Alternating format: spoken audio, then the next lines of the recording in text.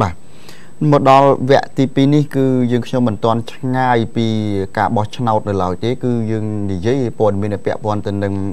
ការឃោសនាបោះឆ្នោតដដែលប៉ុន្តែ គឺថាបើយោងតាមព័ត៌មានពីរាជរដ្ឋាភិបាលបានដឹងថាមានជនខលខូចនៅក្នុងគណៈបកមួយបានធ្វើលិខិតឬក៏ធ្វើឯកសារคล้ายคล้ายស្ដីអំពីការស្ទាបស្ទង់លទ្ធផលបោះឆ្នោតថ្ងៃទី28ខែកក្កដាខាងមុខនេះអឺ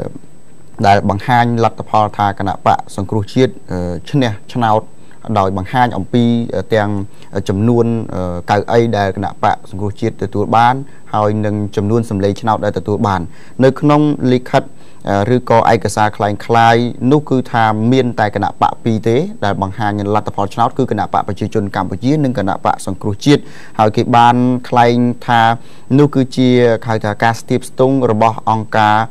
IOI វិជាស្ថានសាធារណរដ្ឋហៅថាដើម្បីលទ្ធិប្រជាធិបតេយ្យសេរីជាដើមដែលធ្វើការស្ទាបស្ទង់ ណាហើយកន្លងទៅពីព្រោះថាស្ថាប័ននេះធ្លាប់បានធ្វើការស្ទាបស្ទង់មតិអំពីការដឹកនាំរបស់រដ្ឋាភិបាលអំពីប្រជាប្រិយភាពរបស់គណៈបកប្រជាជនអំពីប្រជាប្រិយភាពរបស់សម្ដេចអគ្គមហាសេនាបតីរាជហ៊ុនសែនបាទក្នុងនាមរាជរដ្ឋាភិបាលកម្ពុជាគឺបានចាត់ទុកការក្លែងឯកសារនៃការស្ទាបស្ទង់លទ្ធផលបោះឆ្នោតថ្ងៃទី28ដែលថាជាឯកសាររបស់អង្គការ IOI នោះថាគឺជាអំពើទុច្ចរិត ក្នុងន័យថោកទាបបំផុតដែលនាំឲ្យបាទ គេហៅថាដំណើរការនៃការបោះឆ្នោតនោះវាទៅជាការបំផ្លិចបំផ្លាញហើយត្រូវគេហៅថាបាត់បង់នៅសេរីភាពដំណាភាពជាពិសេសគឺភាពត្រឹមត្រូវនឹងយុត្តិធម៌នៃការបោះឆ្នោតហើយម្យ៉ាងវិញទៀតរាជរដ្ឋាភិបាលចាត់ទុកថាល្បិចទុច្ចរិតនិងថោកទាបនេះគឺជាការបោកបញ្ឆោតមតិសាធារណៈនិងកំពុងតែធ្វើឲ្យប៉ះពាល់ដល់ស្ថិរភាពសង្គមបង្កឡើងនៅភាពអសន្តិសុខណាប៉ះពាល់ទៅដល់ស្ថានភាពសេដ្ឋកិច្ចនិងហិរញ្ញវត្ថុដែលកំពុងតែក្រោយតែមានស្ថានភាពល្អប្រសហើយប្រកាសហើយហើយប្រការនេះគឺថាជាការអាចបង្កឲ្យមានភាពចលាចលនៅក្នុងសង្គមផងដែរបើយោងតាមការថ្លែងរបស់អាយដាមកៅរមីកាលពីម្សិលមិញដែលជារដ្ឋលេខាធិការនៃទីស្តីការគណៈរដ្ឋមន្ត្រីបានដឹងថាអ្នករកស៊ីធំធំមួយចំនួនគេបែរជាដកលុយហើយគេរៀបចំអីវ៉ាន់មួយចំនួននៅក្នុងបំណងចាក់ចេញពីប្រទេសកម្ពុជា ដោយសារតែគេឃើញលទ្ធផលคล้ายคล้ายនោះ ថាគណៈបកមួយនោះនឹងឈ្នះឆ្នោតហើយនឹងអាចមានបញ្ហានៅក្នុងសង្គមនេះហើយដែលជាសញ្ញាណដែលនាំឲ្យស្ថិរភាពហិរញ្ញវត្ថុឬក៏សេដ្ឋកិច្ចមានការពិបាកហើយនឹងអាចវឹកវរដល់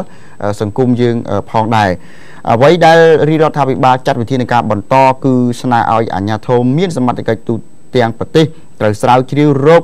មុខសញ្ញានឹងតាមចាប់ខ្លួនបន្ទាន់នៅជនទាំងឡាយណាដែលជាអ្នកធ្វើឯកសារក្លែងបន្លំអ្នកប្រើប្រាស់ឯកសារក្លែងបន្លំនេះដើម្បីបញ្ជូនខ្លួនទៅកាន់តុលាការផ្ដន្ទាទោសតាមច្បាប់ជាធរមានរឿងហ្នឹងវាជារឿងព្រមត្តនណាបាទក្លែងឯកសារសាធារណៈឬក៏ក្លែងឯកសារឯកជនហើយក៏បានស្នើដល់ជនរួមជាតិ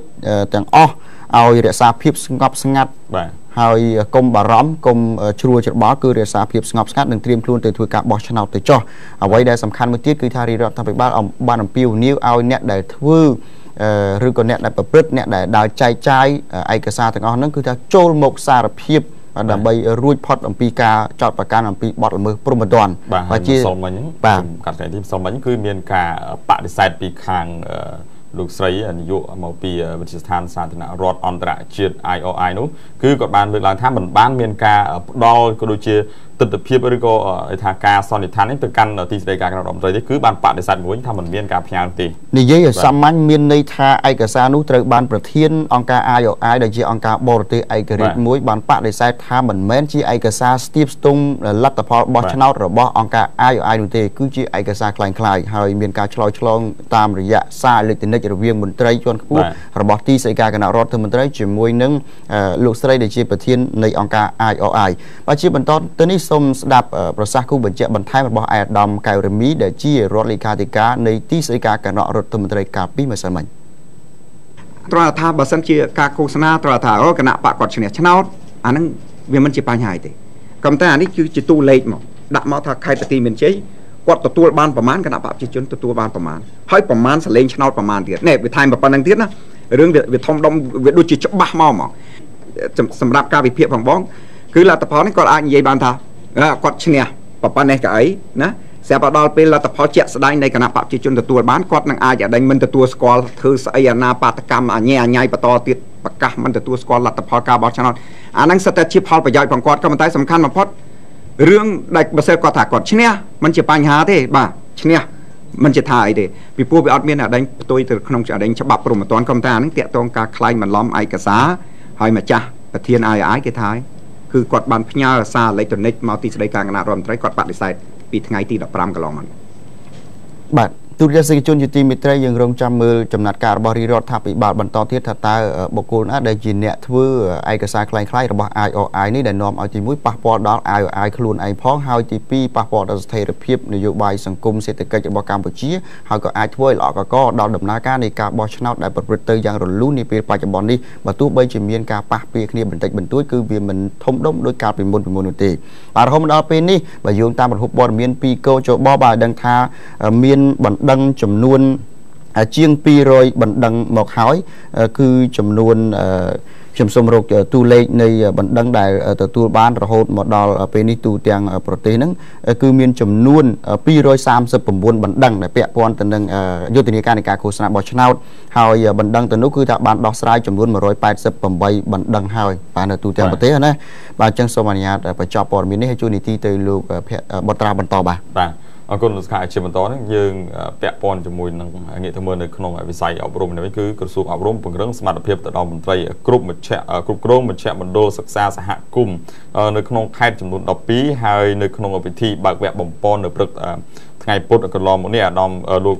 អិនថេអនុរដ្ឋលេខាធិការក្រសួងអប់រំយុវជននិងកីឡាបានមានប្រសាសន៍ថាការអនុវត្តការងារមជ្ឈមណ្ឌលសិក្សាសហគមន៍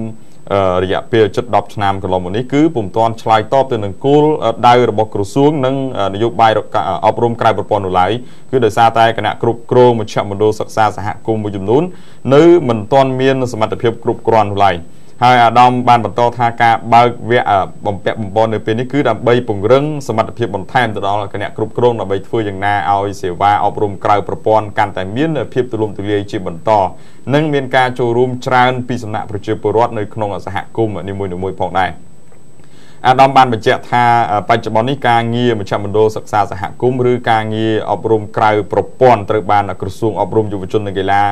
ស្ថាប័នពាក់ព័ន្ធនិងដៃគូអភិវឌ្ឍនានាបានយកចិត្តទុកដាក់ព្រមទាំងជំរុញយ៉ាងខ្លាំងក្លា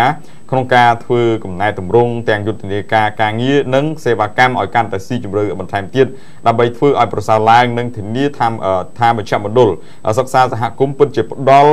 ផលប្រយោជន៍ដល់សហគមន៍ពិសេសទៅលើកុមារយុវជននិងក្រៅសាលាជនក្រីក្រដែលបានបាត់បង់ឱកាសទទួលបានការអប់រំក្នុងប្រព័ន្ធប្រយោជន៍ក៏ដូចជាមនុស្សគ្រប់គ្រប់រូប គ្រប់វ័យបានយល់ដឹងនៅសិទ្ធិនិងទទួលបានការអប់រំផ្សារភ្ជាប់ជាមួយនឹងជំនាញវិជ្ជាជីវៈនៅក្នុងការនោះដែរលោកអ៊ុងសេរីឌីប្រធានមន្ទីរអប់រំយុវជននិងកីឡាខេត្តសៀមរាបបានឲ្យដឹងថានៅក្នុងខេត្តសៀមរាបមានមជ្ឈមណ្ឌលសិក្សាសហគមន៍ឬការអប់រំក្រៅប្រព័ន្ធចំនួន14កន្លែងដែលបានដំណើរការយ៉ាងរលូនហើយនៅពេលខាងមុខក្រសួងនឹងបង្កើតឲ្យមានមជ្ឈមណ្ឌលនេះនៅគ្រប់ ឃុំទាំងអស់នៅទូទាំងខេត្តហើយសូមបញ្ជាក់បន្ថែមទៅលើនេះថាវគ្គបំពន់នេះគឺមានការចូលរួមពីគណៈគ្រប់គ្រងមជ្ឈមណ្ឌលសិក្សាសហគមន៍មកពីខេត្តចំនួន12ក្នុងនោះរួមមានខេត្តសៀមរាបបាត់ដំបងបន្ទាយមានជ័យប៉ៃលិនកំពង់ឆ្នាំងកណ្ដាលព្រៃវែងស្ទឹងត្រែងកំពង់ធំពោធិ៍សាត់ព្រះវិហារនិងខេត្តឧត្តរមានជ័យ បាទអរគុណទូរទស្សនិកជនជាទីមេត្រីប្រព័ន្ធអប់រំនៅក្នុងប្រជាជាតិកម្ពុជាយ៉ាងចែកចេញជាពីរសំខាន់ទី1ប្រព័ន្ធអប់រំគេហៅថាក្នុងប្រព័ន្ធមានន័យថាគឺជារបស់រដ្ឋរបស់ក្រសួងអប់រំជាអ្នកចាត់ចែងតាំងពីមត្តេយ្យបឋមអនុវិទ្យាល័យវិទ្យាល័យមហាវិទ្យាល័យរបស់រដ្ឋហើយមួយទៀតគេហៅថាប្រព័ន្ធអប់រំក្រៅប្រព័ន្ធណា ក្រៅប្រព័ន្ធមានន័យថាអាចបង្កើតឡើងដោយឯកជនអាចបង្កើតឡើងដោយសហគមន៍សមាគមអង្គការសង្គមស៊ីវិលផ្សេងផ្សេងហើយយើងឃើញនៅតាមបណ្ដាខេត្តមួយចំនួនគេមានគ្រូចល័តគ្រូចល័តនោះមានន័យថាបងប្អូនប្រជាពលរដ្ឋអឺ ពេលដែលរដូវធ្វើបកបកើនផលឬធ្វើស្រូវគាត់ទៅបកបកើនផលនៅបឹងនៅស្រែចំការប្រកបឆ្ងាយឆ្ងាយពីភូមិនៅពេលនោះគាត់នឹងយកកូនតូចតូចរបស់គាត់ទៅតាមអញ្ចឹងទៅវាត្រូវអត់បានទៅសាលារៀនបាទអត់បានសាលារៀនដូច្នេះគេបង្កើតឲ្យមានគ្រូចល័តគ្រូទៅតាមបរិញ្ញាដល់ស្រែតែហ្មងបាទអូល្អជាពិសេសនៅព្រះវិហារតែបើយើងនិយាយចំទៅមែនតើទៅនៅក្នុងខេត្តសៀមរាបកន្លងមកបើសិនជាថាការងារវាមានយ៉ាងអញ្ចឹង បន្ថែមពីការក្រៅសិក្សានៅសាលាគាត់មានជាគ្រូឧទ្ទេសមកដល់ថ្នាក់មកដល់ផ្ទះម្ដងបាទដើម្បីអាហ្នឹងចល័តងាយស្រួលបាទចល័តមែនទេអរគុណនៅលើពេលវេលាសូមអនុញ្ញាតសម្រាប់មួយផ្លែតសិនបន្តិចទៀតផ្ដល់ជូនព័ត៌មានជាបន្តក៏ដូចជាសេចក្តីរាយការណ៍ពីតាមបណ្ដាខេត្តផងដែរ